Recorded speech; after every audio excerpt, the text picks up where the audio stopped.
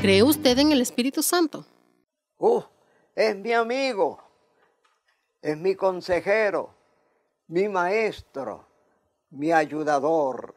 El Señor dijo, yo me voy, pero no os dejaré huérfano. Vendré a vosotros, os enviaré el consolador para que esté con vosotros todos los días hasta el fin del mundo. Hay una gran diferencia entre un creyente lleno del Espíritu Santo y un creyente vacío del Espíritu de Dios. Desde que creímos fuimos sellados con el Espíritu Santo, pero una cosa es ser sellado y otra cosa es ser bautizado con el Espíritu de Dios.